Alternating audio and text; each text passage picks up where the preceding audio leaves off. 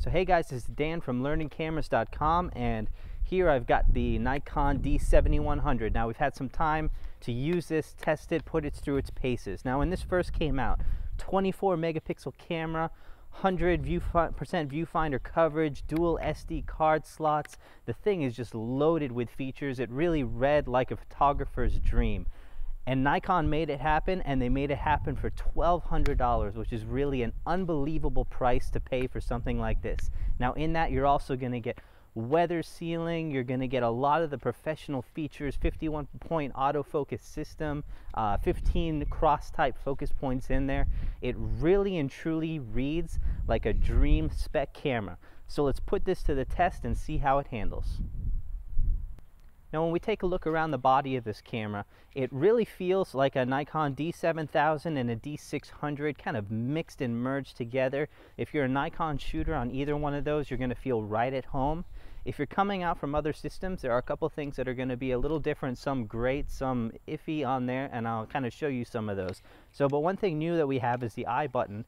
Now the I button brings up some of the most used settings, or actually, I didn't find that these were settings that I used that much. The only one that I really went into is that new crop mode that they have to go between a DX crop and a 1.3X uh, additional crop on that. I did use this quite a bit. Great feature. I'll go into detail on that later. Uh, now overall, if you're coming from another kind of camera system, there are a couple things to keep in mind. Um, one is, even though the controls are pretty standard for Nikon, uh, there's a couple interesting things. One is you have quick access to a bracket button right here. That's very nice to have. I love having that. I'm not used to having that. If you love HDR, that's a dream come true.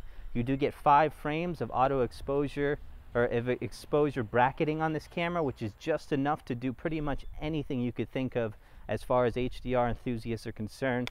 Some of the cameras have seven or nine, but really and truly I almost never use that many. So you're gonna really like what this has to offer. Um, another thing that's gonna be very interesting on this one is the uh, placement of the ISO and white balance buttons. You know, I will say I'm not a big fan. I have a hard time holding this to my eye and still accessing those buttons. So I really wish that they had moved them to the other side of the camera where you'll find them on most other camera systems. Uh, or if they had moved them up top like we find them on the Nikon D800 and the Nikon D4. Getting into these are also shared with the with the zoom buttons as well. So if you're actually looking at a picture or image review is turned on and you try to press that to change your ISO, it's actually going to zoom in the image and not change your ISO. So just some things that are going to take a little bit of getting used to on there. Now another thing that I got to talk a little bit about is this locking dial here. We do have a locking dial, nothing wrong with this. We have similar locking dials on Canon's other systems. The secondary locking dial, man, if you can figure out how to move this with uh, one hand holding the camera and one hand on this lock dial and do it efficiently, all props to you. I really can't figure out how to do both at the same time and really pull it off extremely well. It's just kind of a pain to get to and a pain to use. Um, I mean, you can get it. It's not something that I use all the time, but it's just kind of, I'm just not a huge fan of the way they did it on this camera. Now another thing we'll take a look at is the screen. It's a brand new 3.2 inch screen, 1.2 million dots. It's up from 920,000 I believe in the previous cameras. Great screen, great looking. It's very sharp. Uh, lots of contrast on there, very bright, easy to see in just about every environment. The only thing I'm going to say about it is that the screen, kind of reminiscent of some of the other Nikon cameras, does have a little bit of a yellowish green tint on it sometimes and it does make it very difficult to get some very accurate colors depending on the situations that you're shooting in. Now another thing I'm going to give Nikon a lot of praise for in this camera is uh, the OK button right here can be programmed to zoom in to 100% or different areas of the frame that's nice. Once you take a picture and go to look at it and play it back, all you have to do is hit the, uh, hit the zoom button and it's going to zoom you in right into the center of the picture. Very nice. You can check your focus really easily. I love having that around. Now another thing if you're coming from another camera system is keep in mind that the screen on a Nikon will not stay on all the time. It does turn off every time you hit the shutter on this camera. On some of the other ones, it will stay on because they have a, um, a sensor judging for your eye. So on this one, it won't stay on. That can be a, a little bit of a pain if you're tripod shooting or shooting at weird angles where you can't see the top of the LCD screen and you have to keep hitting the info button to turn it on. You know, not the biggest deal in the world, but I will say I really wish that they had done it a little bit differently with that. Now when it comes to the AF on this camera, a couple things to keep in mind. 51 points, 15 cross type. That's really kind of a dream AF system for a camera like this, way better than we see at other systems in uh, similar prices to where that this camera is at. Now, um, a, a couple things that I will say, if there was no spot focus, which I'm used to on a Canon, which has a very, very small dot for focusing in on small, small areas of your image. And so when taking a picture of something like a bird or something like that, I did find it a little difficult to get in and focus in on those very small eyes or things like that on the screen. But overall, I must say that I love it. The focus points on this camera fill up the frame all the way on the horizontal, almost all the way on the vertical.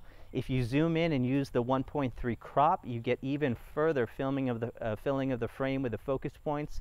Really kind of a dream come true when it comes to that. We get a lot of focus points spread out through the entire frame on this camera. The other thing I will say about the focus points, you do have 15 cross type focus points on there. Unfortunately, you know, they're a little uh, geared towards the center of the frame. They're all kind of grouped in the middle, so you don't have any of the cross type focus points on the outside, but you still have 15 to choose from, 51 overall. So I can't really diss it that much. It's still a great system and much better than we see on a lot of other cameras, and I really am happy with the focusing that is on this camera. Now when it does come to straight up image quality on this, I'm very happy with the pictures. You're talking about uh, pictures that are full of contrast, they're sharp, they look perfect. Um, the only exception would be I did have some color problems when using the auto white balance.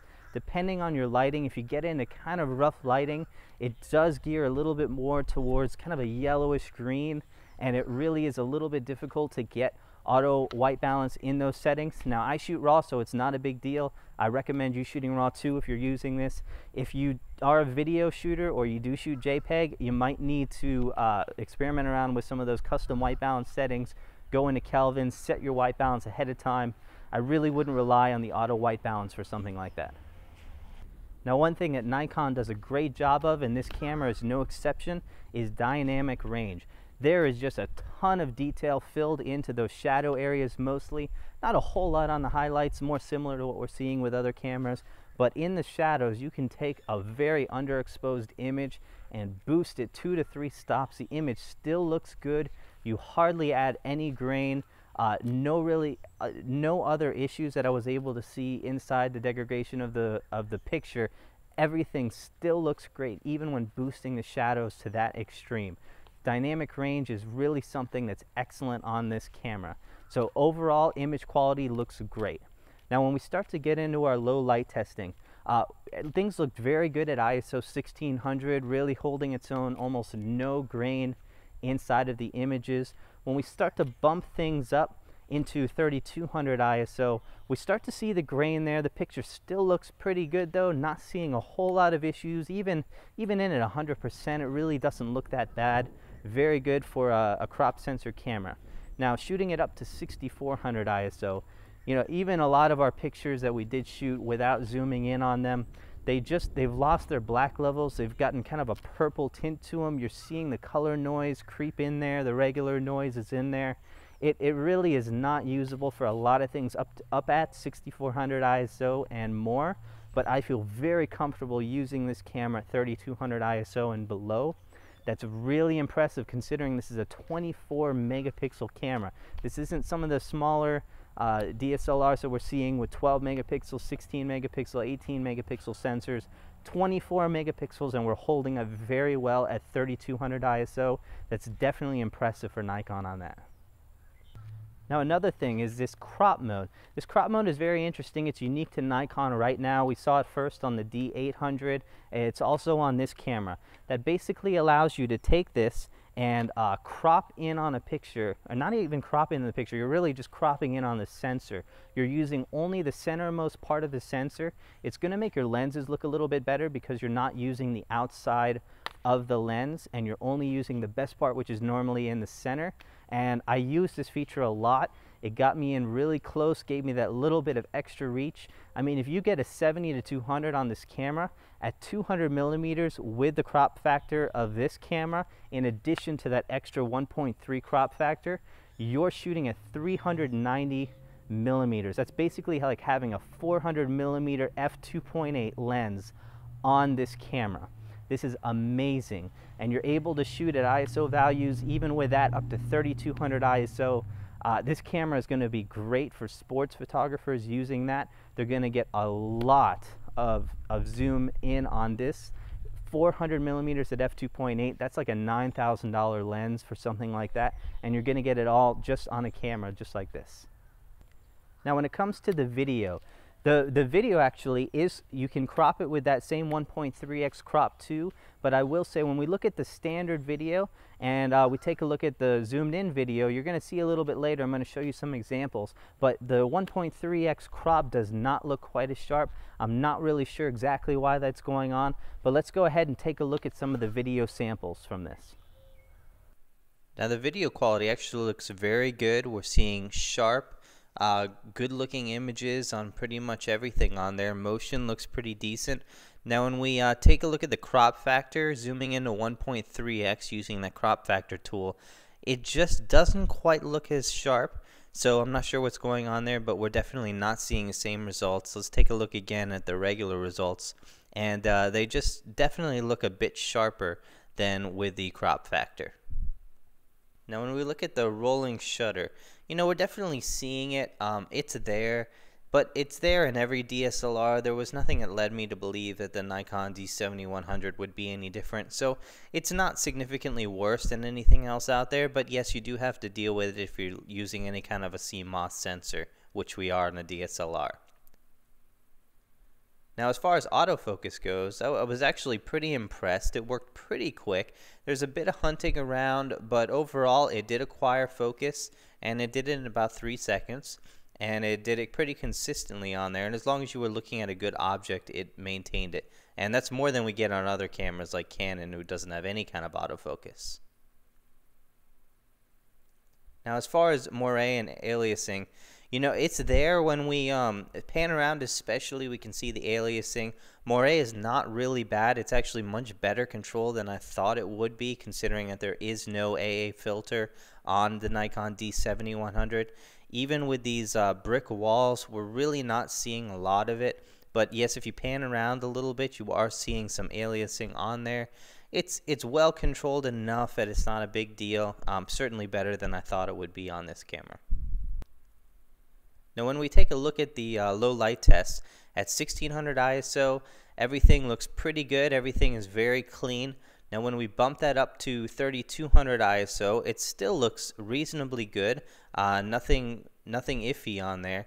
Where we start getting into trouble is uh, 6400 ISO. And as we take a look at that, we can begin to see quite a bit of grain in there. The image is noticeably deteriorating. Uh, it seems to be our limit is about 3200 ISO on this camera. Now as far as an actual video test, this is filmed at 3200 ISO and we'll take a listen to the onboard mic on the camera.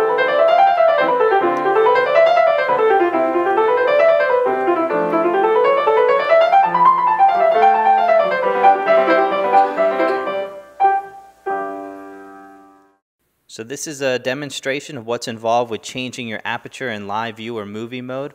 Right now I'm in the video recording live view and we can notice that I can change my shutter and then I can change my aperture but nothing happens with the aperture change. So in order for me to get a proper exposure I actually have to exit out of live view and then I can uh, change my uh, aperture and uh, then I can get the correct exposure. Then I'll actually have to go back into live view and now I can see my exposure and I would need to repeat this process over and over again. Now here's an interesting thing. Flip over to the photo mode and now I can change my shutter and my aperture actually changes on the screen but nothing happens. So it's not reflected on the screen and so I actually have no idea what my exposure might be uh, even when I look through the screen. So the only thing I have is my exposure meter down at the bottom, and if I go to take this picture, the um, picture is probably going to be completely underexposed, and yes, it is completely underexposed, even though my exposure looks fine on the screen. So you need to be extremely careful not to touch the aperture in live view because I could easily accidentally be changing the exposure and not even realize it. Now, as of today, and this is obviously subject to change depending on when you're reading this, this is definitely the best camera on the market today in this price range for sure. For $1,200, you really get an unbelievable camera. I'm going to be putting this as a test against the 7D to see what it holds uh, in a side-by-side -side test. But overall, I've been much more impressed with this camera as a whole. It's got a lot of new features that we don't get with the 7D. Now, the 7D is a, a three, four-year-old camera at the moment, but it is actually still selling for more than this camera when it first when it first comes out. So that's really a negative for the 7D. It is still competing with this camera, $200 more expensive, I think, uh, even with three, four-year-old technology in a lot of areas.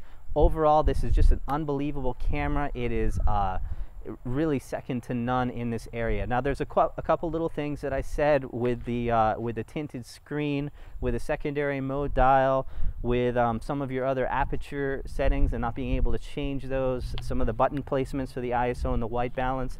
But you know what? All of those are issues that you can get over. They're issues that you can learn to deal with, and even though you don't like them and it might be frustrating at times, they don't affect the picture quality of this camera. They don't affect uh, basically getting the picture. Anything that helps you get the picture that you want, that is all going to be in this camera. They really made no compromises on this camera that I can think of, especially given the low price point. So video users could have a couple of issues with some of the features on this camera, uh, notably the, the not being able to change the aperture while shooting or in live view, not being able to change the audio while shooting, uh, the white balance possibly as well if you use auto white balance in your video shooter. But overall for everyone else, that's if that doesn't bother you, this is really a phenomenal camera. Uh, you're not going to get something better than this in this price range for sure. Now, Nikon really hasn't done a lot new in this camera, but what they have done is they've taken the best elements from every other camera that is in their lineup and they put it all in this camera and only charged $1,200 for it. This is really amazing. Uh, you're going to get a camera with a professional feature, a professional feel to it. It's going to be weather rated for rugged use. It really feels like a small professional crop sensor camera. It's going to be great for sports. It's a no compromise camera for only for a compromise price. 1200 bucks gets you a starting point for a really phenomenal DSLR with a Nikon D7100.